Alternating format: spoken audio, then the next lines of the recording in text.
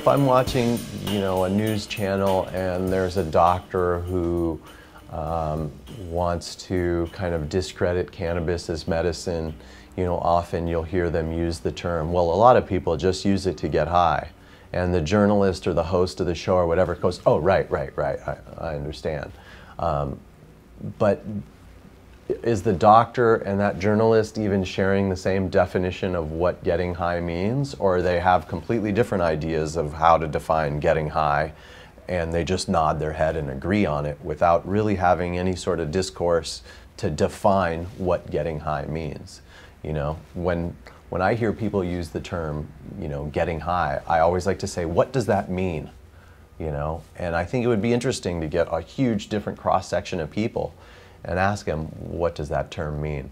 To some people, getting high means up to no good. To other people, getting high means temporarily forgetting about your problems to, you know, relieve stress. To other people, um, getting high means to avoid your problems, which is a bad thing. Some people, getting high means, um, you know, those people who dodge the draft and aren't patriots or uh, there's just so much tied up in what getting high, to some people getting high means I'm a rebel you know what I mean? Or getting high means you know I, I think for myself. To other people getting high means you know uh, I, I disagree with my parents. So it's like there's no real clear cut understood definition of what getting high means. So I think it's a really dangerous uh, kind of irresponsible term to use um, especially if you're a medical professional. Um, so uh, I just think you know our word choice. It's like it's real easy to come up with a term that can uh, mean so many different things, and that's to me that's an interesting conversation. Whenever someone uses the term getting high and I say, what's that mean? I always get a, a completely different answer from everybody. One of the big things we hear against um, people who are against the use of cannabis is that, well, a lot of people just want to use it to get high. And I hear doctors use this term a lot. Oh, people use it to get high.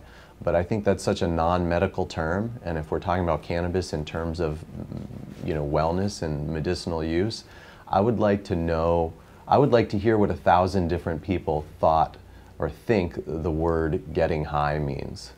Um, because I think it means something different to almost everyone.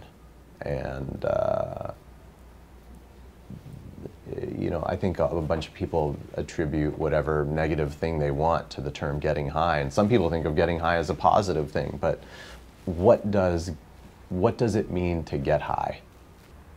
I think another thing that would be interesting to, to have journalists explore is um, due to the rise of these CBD only laws in certain states, um, uh, where you know CBD because it's been on CNN and Sanjay Gupta has heralded it and it's non-psychoactive. It's getting a lot of good press right now, um, and the, there's kind of this misunderstanding that's being formed and perpetuated in Congress and other places where CBD is the medicinal component of marijuana and THC is the recreational component of marijuana. And that's not true. They're both very therapeutic, you know, molecules. And um, the two of them together, when combined, are more effective than either one um, used alone.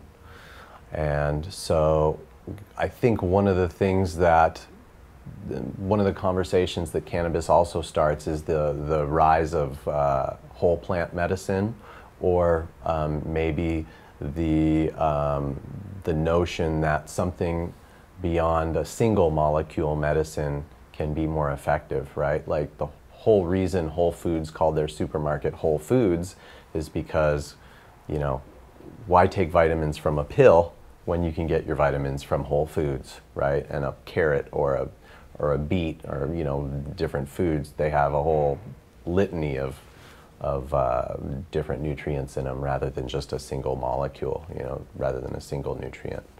So um, that's another aspect of um, how cannabis is pushing a conversation forward is, you know, plant-based medicine, um, the popularity of you know, medicines that aren't just single molecule medicines that can have, you know, a, multitude of beneficial effects. And then, of course, we've all heard of the term the entourage effect. So.